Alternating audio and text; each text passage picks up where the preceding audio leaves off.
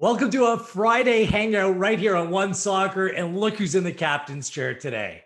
I don't know what I did to get this privilege, but here we go. Gareth Wheeler with you as we wrap up, reflect upon another memorable matchup between Toronto FC and the Montreal Impact. Back to back nights, a Canadian team features in a 4 3 thriller this time around. Toronto FC get the best of Montreal in Group C action at MLS is back. Joining me on today's show, Laura Armstrong from the Toronto Star. Hey, Laura, how are you? Hey, guys.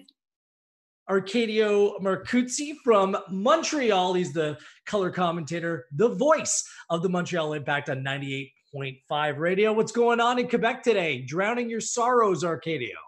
Yeah, we're pretty sad today, but uh, good to good to be with you guys. And good old reliable Mr. Prognostication for the CPL restart, Oliver Platt. Mr. Six out of 10 himself, here every day. hey, I'd take a six out of 10, buddy. good old reliable. So let's get to it. It was a night with some twists and turns. A new hero is being crowned in Ayo Akinola. The 20-year-old from Brampton scored the hat trick on uh, on Toronto FC's way to victory, but nothing was straightforward. Nothing was easy for the Reds in this one.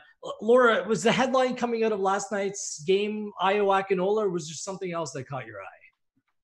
Yeah, I think Ayo has definitely been the headline coming out of this tournament. And for me, it's like a broader, very important moment for Toronto FC in the, fa- the fact that they have this young player coming up through the system, and not just Ayo. Like you've got Richie uh, Laryea, who's who's playing well. You've got Marky Delgado signed to a long term deal. Like there's a next generation for this Toronto FC team that I think we're seeing in this tournament that almost kind of like popped up out of nowhere. Like we've been hearing about Ayo Akinola forever. If you've listened to James Grossi, like you definitely know the name. And it's like I and then suddenly he's here and he's really contributing. And it's nice to actually see that there's gonna be like a future for Toronto FC past this group that we're we're we're so familiar with at this point.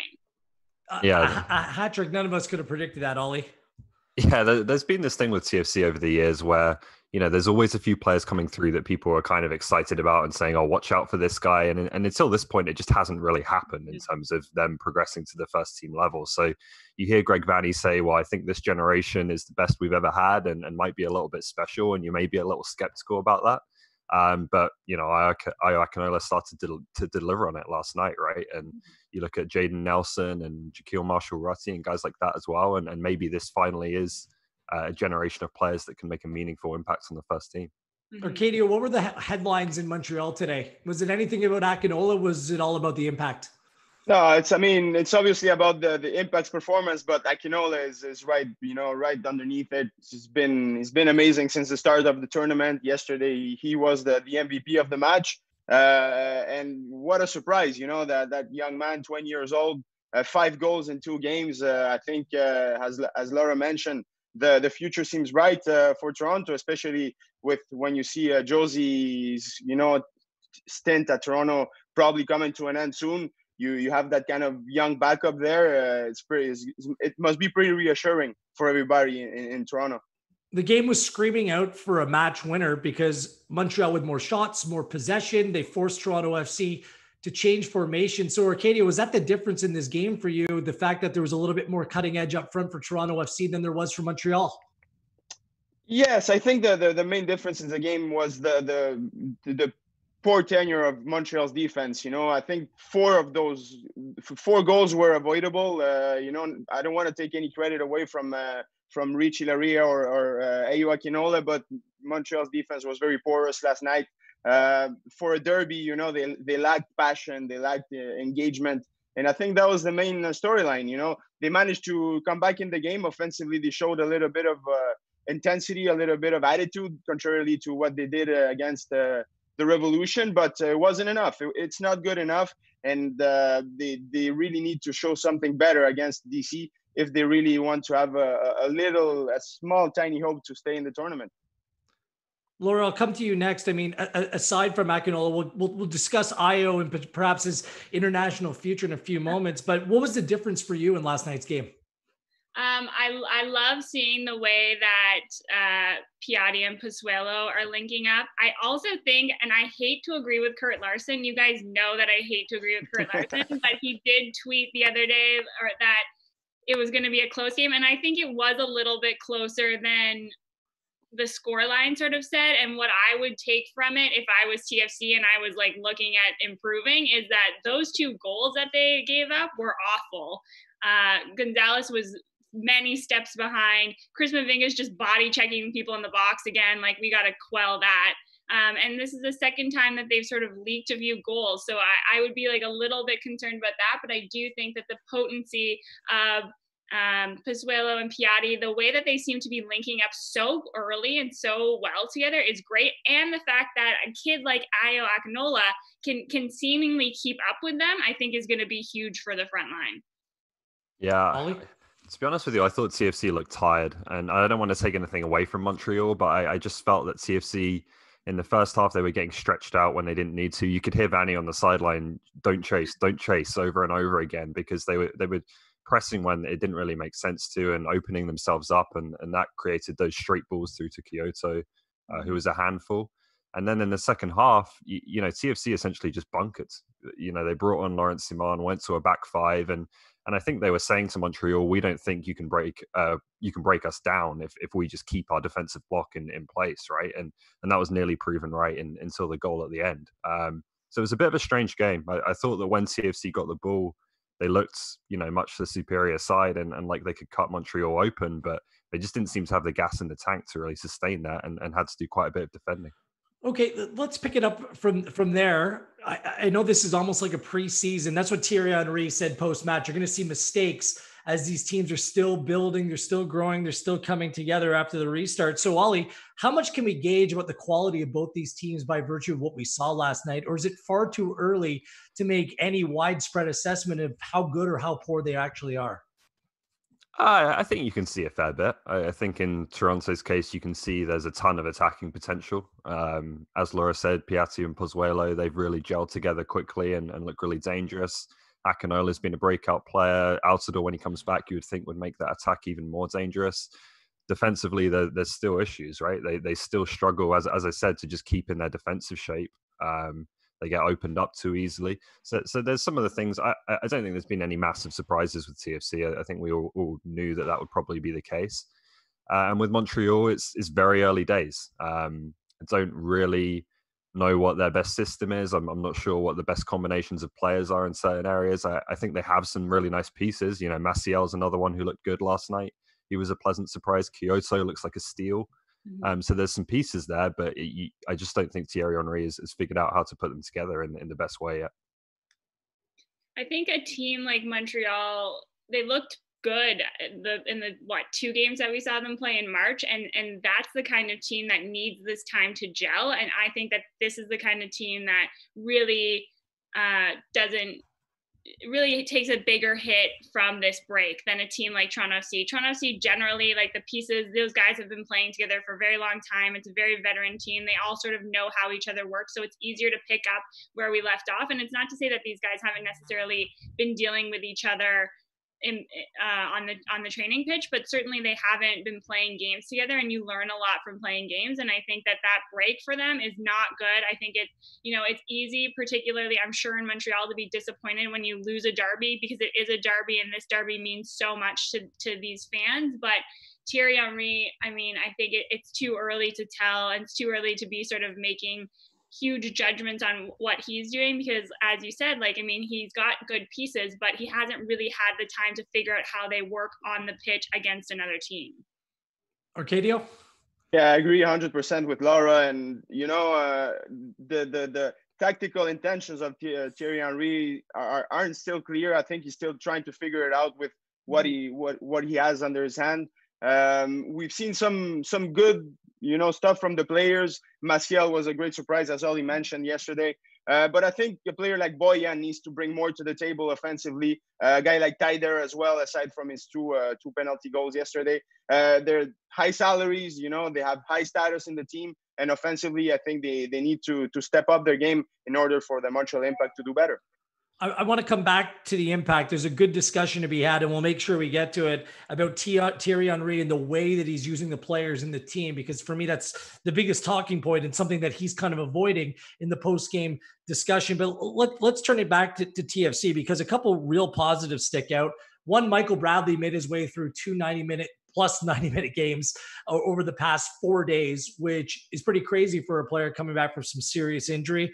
I'm with you, Laura. Piatti and Pozuelo, the way that they've connected really adds that um, that next level attacking element in the team where they can almost create something out of nothing. I think they might be missing a little bit of pace, someone to get in behind the line on the left hand side.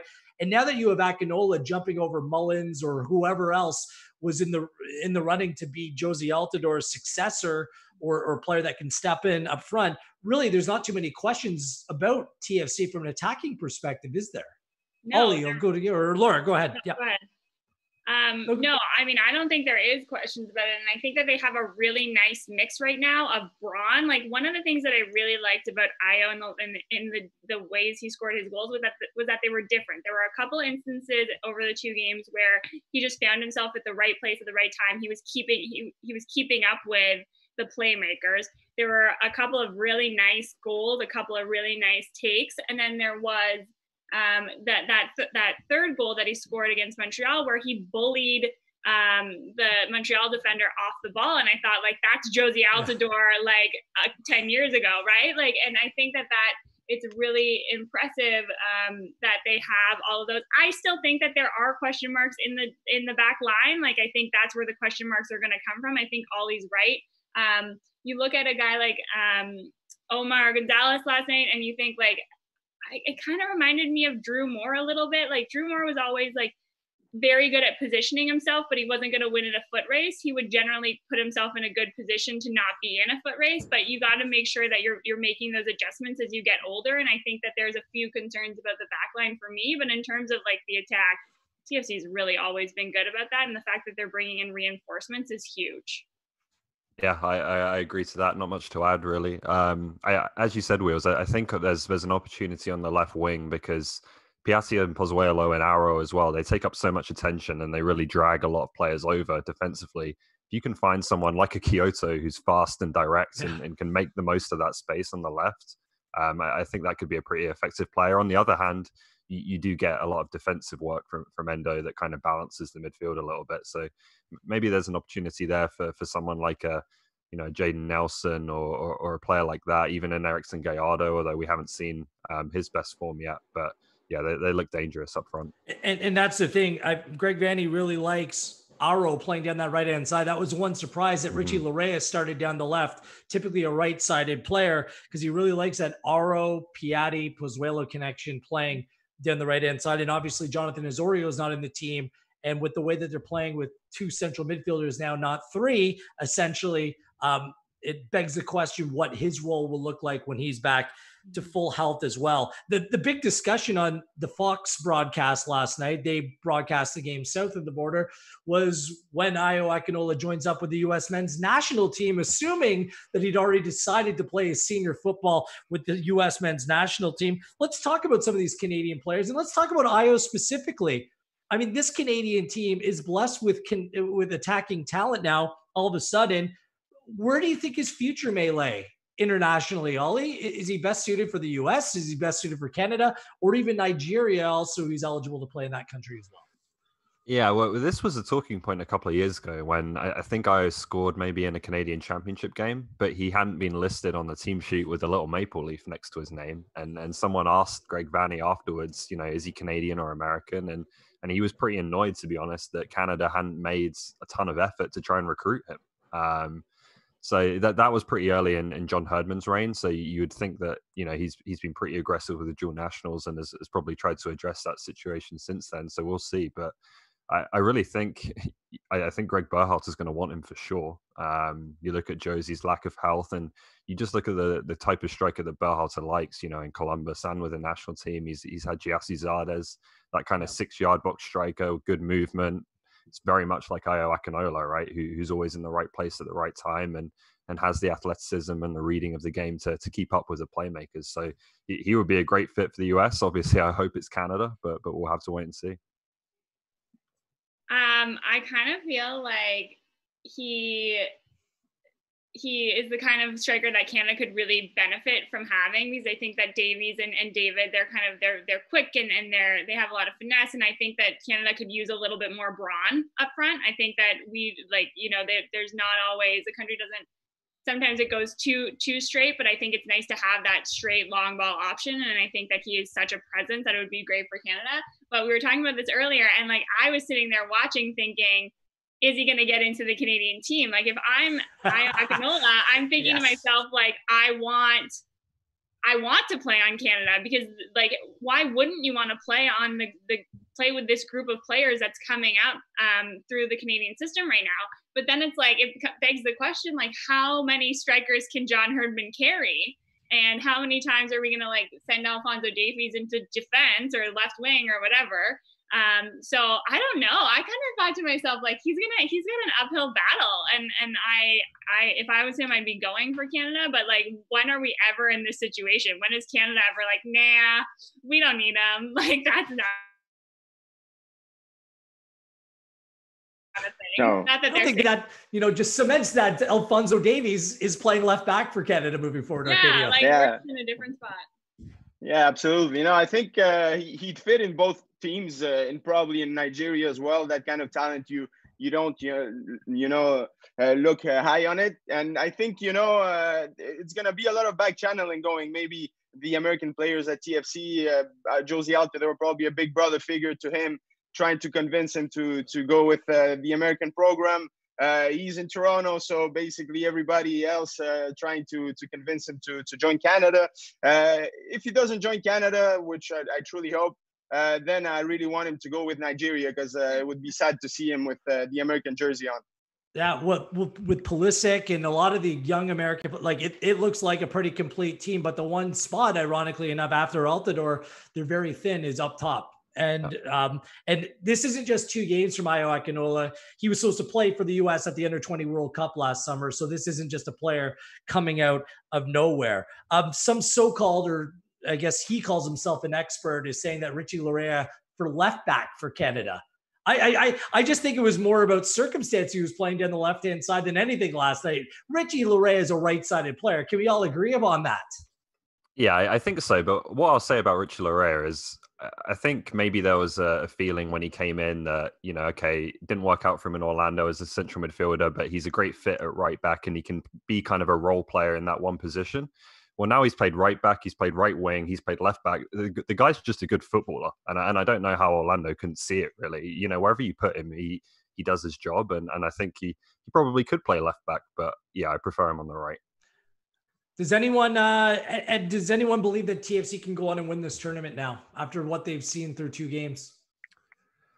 I mean, uh, I feel like I've learned never to bet against them. Like they're just that kind of team that like every time I think to myself like ah maybe this year is not their year they go and do something that like they I think that TFC better than almost anybody understands how to play major league soccer and I obviously this version of Major League Soccer looks different, and I think that they're gonna struggle because of the time frame. But everybody is. But I don't know. This team, like, remember when they were in the MLS Cup last fall, and we were all like, "What the heck are you guys doing here?" But they were like, "Yeah, we knew." I was like, "Okay, sure."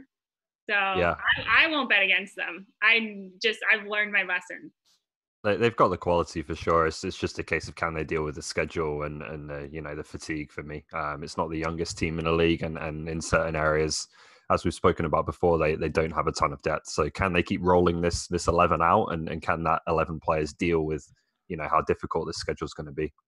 Uh, Arcadio, yeah, the, go ahead, Arcadio, go ahead. Yeah, no, I just wanted to say that the the Achilles heels from uh, Toronto seems uh, obviously to be the the defense lack of depth, maybe uh, physically they they seem gassed. Uh, you know, uh, second half uh, against DC was the case.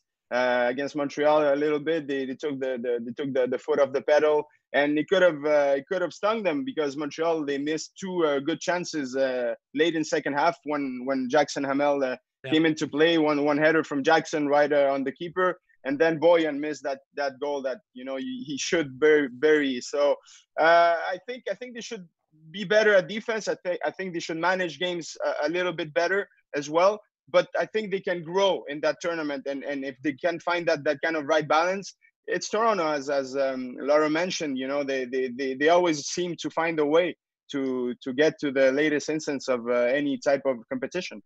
Arcadio, I want to turn our focus on the Montreal Impact now. I was actually quite pleased by the way they played last night, to be honest.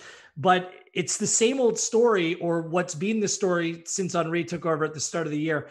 How does he best utilize the players at his disposal? Because there's some real talent in the team, but it's about getting it right.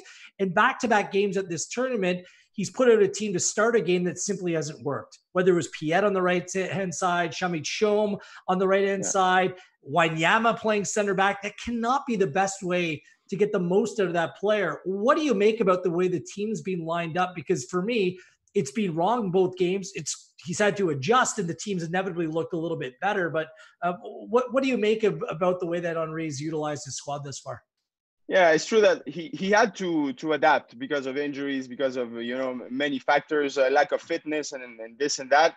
Uh, we're still like in a kind of a preseason mode, but uh, I think at some point he he will will have to settle with uh, a formation with uh, keeping the players at the same position and and try to to make them look good are you know where they play best. And uh, Wanyama yesterday played center back, but he, he was probably one of the best players on the field for the Impact. But you you kind of missed what he brings to the table in terms of uh, uh, offensive transition and all that, uh, which he did against against the Revolution, where he was probably the only Montreal player who had a, a solid match.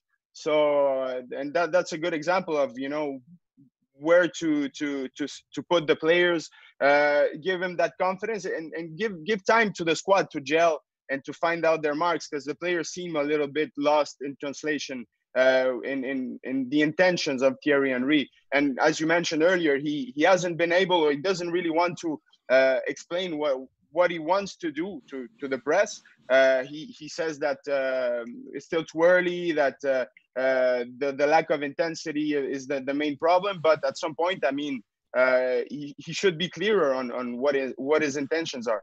Well, Arcadio, I want to get, get your thoughts on this and go to Laura and, and, and Ollie. But this team, like it, when I look at the team, just the squad on paper, there's like seven or eight central midfield players. there's nowhere near enough on the on on the on the wings, and the the players available at the back aren't world beaters either. So it just looks like there's an imbalance in the team, and I don't know if Henry can work his magic and come up with something. I just think the way the squad is built, it's flawed, and there isn't enough yeah. in some critical positions. Yeah, I couldn't agree more, and I think that that it goes back to to uh, Remy Garde's tenure when uh, you know the, the, they lacked time. They were in a transition with the the whole the whole sporting st- structure. The there wasn't a real um, uh, general manager in the team or sporting director. So all the recruitment was kind of made the last minute, uh, trying getting players here and there more by by convenience than than a real need, you know. And and I think Thierry, Thierry Henry uh, inherited that, and now Olivier Renard is trying to do a good a good job. I think he's been do- doing a good job in recruiting, and it's gonna take some time, I think, to for for for Thierry Henry to get the re- the pieces he needs to to put in place where he really wants to put in place. Yeah, I, I think part of it is just on Reed learning what he's got as well. You know, I'm I'm not sure if he knows really knows his squad yet. Um, you know, he, he seems to want to play that back three and wing back system, but he doesn't really have any standout wing backs except maybe Zachary Brault-Guillard, who hasn't been in, in the lineup. I, I, think he has some good attacking wide players between Okonkwo and Quioto and Lappalainen, but he, he seems to want to play a two up front and, and no wingers. And when he did play with wingers, it was Bojan out there, who I think is much better down the middle. So there's just been some decisions that suggest to me that he's still kind of learning about his players and, and doesn't exactly know all of their strengths and weaknesses yet. Laura, anything add? Yeah, I kind of think that like as a manager in general, Thierry Henry, the jury's still out on Thierry Henry, and like that, in, it hurts my heart to criticize him. Like I'm an Arsenal fan, right? So like let's be clear, this is very. the jury is still out on him, and I also think that it, it is a little bit concerning that you have a new coach coming in, and you're already we're you're already concerned about that he's not getting enough out of the players just in terms of desire. Like this is supposed to be the situation where you're fighting to still be in Thierry Henry's team, right? And and that's not happening. So why is that? Is there a communication issue? Why is there there are players that are um, maybe not as fit as they should be. I mean, there's no reason that you shouldn't have been training in the, in your time off, right? You should have been prepared to a certain extent, maybe not match fit, but you should have been able to at least get on the on the pitch, right? So I think that there is a certain amount of concern for me before he even sort of figures out tactically where he stands, um, that that he's not getting enough effort out of the players. And I think that you would have appreciated Montreal's um, what Montreal's done in this in this tournament a lot more if they showed a lot more intensity because they really have been lacking that, and that's on him as much as it's on the players. Is that your read as well, Arcadio? Well, yeah, I think uh, coaches and players have shared responsibility on what, what happens on the pitch. Of course, I think the players need to be more accountable, but uh, there's a, there's a part of responsibility that's uh, on, on Henry, Henry's shoulders as well, for sure. Uh, we got about five five minutes left. I thought they worked hard last night, but aside from um, Quioto, who I thought was excellent, I think that he's got to be first choice ahead of Urruti up front. I just I don't see what he likes so much in a Rudy, and then you play maybe a Taider or a Bojan in behind as kind of that that striker that works around. I think that you have something there. to go about getting these pieces together. But Maciel, Piette, and Wanyama, those are three players that prefer to play in a deeper position. Can all three of them play together? Like this isn't Liverpool, right? Where you have guys that are runners. Like I just like I'm not sure why you recruited Wanyama to come into this team when you have players that kind of play a similar role and maybe a little bit of a different way. Arcadio, I think recruitment's just wrong. Yeah, I mean, it, it's hard to say that that Wanyama is a is a bad signing, but uh, it, it's it's true that that it wasn't a, a, a need, you know, right now for the impact. I think it was an opportunity, and and they just went for it because I think for obvious reasons, the quality of the player but uh, it, brings question marks. It brings a, a, puzzle to the table. Where do you put Piette? Where do you play Maciel? Uh, you, are totally right. I think Maciel can play a little bit more forward. Um, with with I think he's got a good vision.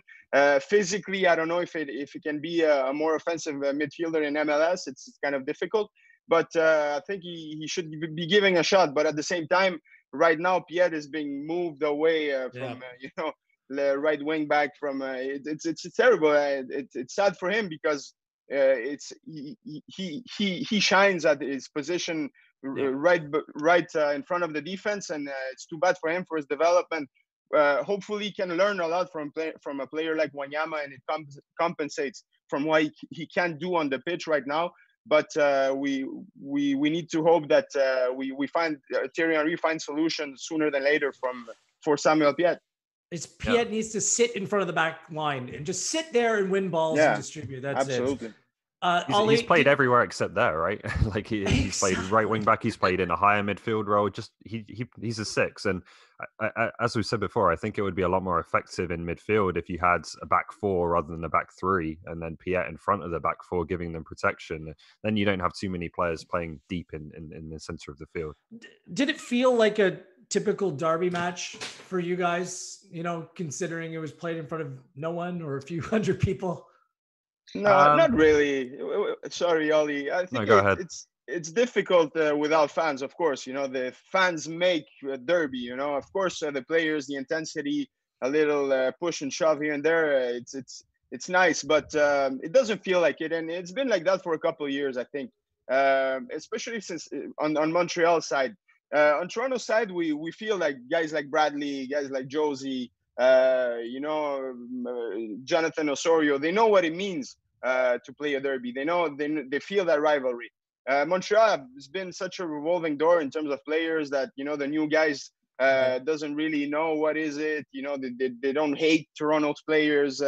they they haven't been knocked out by by Jozy Altidore midair. So I mean, uh, it, it, it, changes the, the, the paradigm. So I, I think the yesterday was a, a good starting point, a good starting block for many of them to kind of feel and, and start you know living that rivalry and hopefully in, in the following months and years uh, it, it, becomes what it was a few years ago because it, it was the best rivalry probably in north america yeah, yeah, that, that's the thing, right? Like the, the the Montreal players that played in the 2015 and 2016 playoffs and the 2017 Canadian Championship, that team's gone. Like, who's left? Evan Bush and and Tabla. I, I don't think there's anyone else really. So yeah. it's it's a completely new Montreal team, and, and I think it takes time, right, to kind of build that contempt for each other, uh, and and it takes big games, which which just haven't happened yet.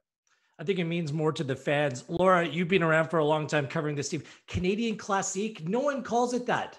No one. I, where does this come from? You can't just make up a new name for a derby. I don't get it. I hate the 401 Derby though. Like I Why? hate that name. I've always hated it. I don't know. Like it's a road. Like what is it? I don't know. I don't know. It's the only way between the two cities. I don't like the Canadian. Cla- I hate the Canadian Classic, and I hate making stuff up for sure. But I don't know. I feel like it could. Be, I feel like it really could be better. I also think that like no derby is ever gonna feel like a derby when Canada, like Canadian teams, are playing in hot, hot Florida. I feel like it either has to be March or November. Like it can't be like. Marky Delgado can't be like sweating right through his shirt. Like it's not. It's it's way too Amer- too Floridian for us. Arcadio, what do you call it in Montreal? Uh, the the, the cla- cla- classiro, some people call it like a class syrup, you know, for Uh-huh. maple syrup, which I think I don't like it. uh, Yeah. I call it the Canadian one. Classico because uh, I like Classico. I'm from you know Latin America, so for me a derby it's a Classico. But uh, yeah, I, I, I agree with Laura. I don't like 401 Derby simply because the 401 stops in Ontario. It doesn't exist in Quebec, so it's kind of a one-way. Uh, But you need Uh, to kind of- you kind take the 401 to get to Toronto. Like yeah, but but once once we enter Ontario, be- before in, in Quebec, I think it's the 40. So I don't know. We, I we like the to find Canadian Classico. I think we should go with that. Canadian that works Classical. Let's Can we just let's change do it it. on the show? Let's go with the hashtag. the upper Canada, lower Canada. Darn, I don't know. It's ridiculous. Uh, one final note: our very own Armen uh, Bedakian uh, got some pubs south of the border last night. He logged on Twitter. All everything that Greg Vanney said out loud. That was one of the magical pieces. You could hear everything that Greg Vanney says, and he speaks a lot during the match. Uh, shout out to Armen for doing that. Is there something that Greg Vanney said that caught your ear last night? That's your favorite, Laura Armstrong. I mean, it's, to anybody who covers Greg, it's not surprising that he talks a lot because he talks a lot when he we do interviews with him. Um, I feel like Greg is generally very like kind of prim and proper with us, so I think that it's great that he swears as much as he does. And also, I think if I'm Omar Gonzalez, I'm like thinking to myself like maybe I need to pull up my socks. Ollie, or Katie or anything, Dad? There was there was one moment in the first half where he was just screaming at Omar Gonzalez to move over, and, and Omar Yeah. didn't listen. And didn't. He, he just walked, yeah, yeah. continued walking. Um, so yeah, that was good. I liked um, no, you can wag your finger, but he pulled him down as well. That was a good one. Um, a, a lot of enjoyable quotes from Greg Vanney. Arcadio? Oh yeah, absolutely. Uh, shout out to Armen for that because it was it was hilarious. It went viral and he deserved it. Uh, it's, it's totally funny. And I, I was we were doing the call, uh, you know, with the with the audio feed from Orlando, obviously in studio from Montreal, and it was painful, painful to have Greg Vanney uh, in my ear the whole game. But uh, I mean, you know, at some point he was trying to to uh, convince the ref that uh, it was a red card for like a, a super light foul uh, that was super funny. You know, you could see the intensity and really convinced that that it, it- was red card deserving. So yeah, it's pretty funny. The Omar uh, get over kind of kind of sequence as well uh, was was uh, kind of hilarious. So shout out to to Greg Vanney for putting up a sideshow and shout out for to Armen for uh, for for Yes. that uh, great post. My favorite, knowing Greg after all these years, he's all about positioning. He's always thinking two, three moves ahead.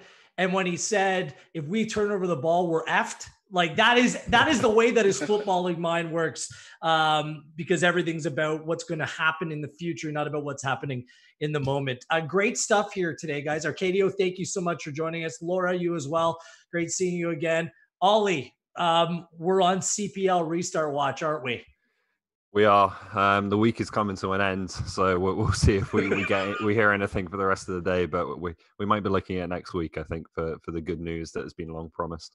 Fingers crossed. The weather's going to be gorgeous outside. Go and enjoy. And then your focuses collectively can turn to the Canadian Premier League next Yeah. weekend. Make sure you subscribe to us on YouTube. Continue to like our content. Tell your friends. Give us a share as well. On behalf of Arcadio, Laura, Ollie, I am Gareth Wheeler. Enjoy the rest of your day, Canada. Remember to stay safe.